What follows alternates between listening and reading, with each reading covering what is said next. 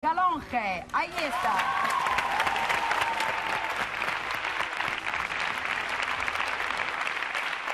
Bueno. La Navidad. Alegría. La fiesta más entrañable y dulce del año ya está aquí. Ya está aquí. Nuestro corazón se encuentra repleto de amor y ternura hacia los demás. Porque en Navidad todos somos buenos. Todos somos buenos. Todos damos algo. Y yo digo, bueno, pero ¿no sería mejor ser buenos todo el año, aunque un poquito malos la Navidad? Digo yo. En Navidad se come pavo. Se come pavo, no me habéis dicho pavo a mí. ¿eh? Por eso viene ahí el dicho de que andar más mosqueado que un pavo por Nochebuena.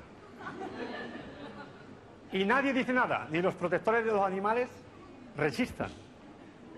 Claro que tampoco he visto yo nunca a una señora con un abrigo de plumas de pavo, o sea que tampoco he visto yo, ¿verdad? La Navidad es época de regalos. Paquetes preciosos, ¿eh? Papel, papel es precioso, ¿no? Cintas de colores, una maravilla. Lo triste es cuando abres los paquetes y ves lo que hay dentro. ¿no? Normalmente son o pañuelos o guantes, ¿no? Además, los regalos, más que regalarse, se reciclan. ¿Os habéis dado cuenta, no? O sea, porque lo que te regala a ti, Pedro, tú se lo das a Juan. Lo que te da Juan, se lo tiñas a Pepe. Y lo que te da Manolo a última hora, es se lo guardas para el cumpleaños de la suegra. Ir a comprar los regalos. ¿Cómo están los grandes almacenes cuando vas a comprar los regalos? ¿Qué dicen? Joder, ni que jugar a Maradona. No puedes ni llegar a la dependienta, porque tú lo único que quieres es el frasco de colonia ese que usan los anuncios, ¿no? Que te echas y ligas. A mí no me hace falta, ¿no? Porque no, no, no me hace falta. Pero la época de la Navidad es bonita y entrañable para los niños, ¿verdad? Pero claro, ya nos empeñamos los mayores eh, eh, en amargárselas tres meses antes. Porque los padres estamos tres meses antes. Portaros bien que van a venir los Reyes Magos. Que os están viendo los Reyes Magos y los chavales dicen, ¿dónde están? Como el chaval que dice al padre, dice, papá, yo para los Reyes Magos quiero que me regalen una escopeta de verdad. Dice el padre, no puede ser una escopeta de verdad. Pues yo quiero que me echen una escopeta de verdad. Que no puede ser una escopeta de verdad, hombre.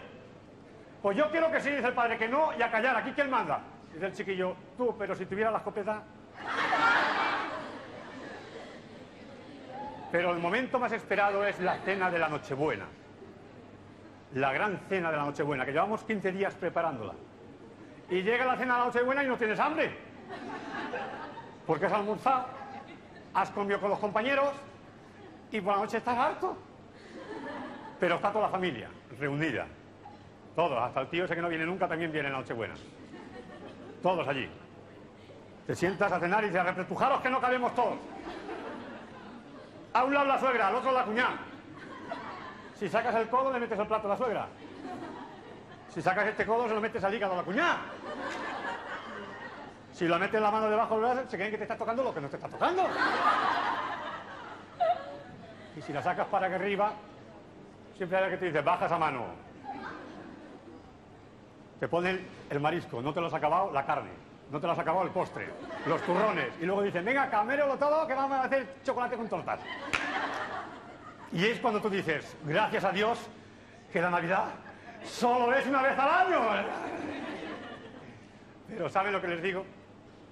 Que todos los que hacemos este programa, junto a nuestra queridísima Rafaela Carrá, les deseamos de corazón feliz Navidad.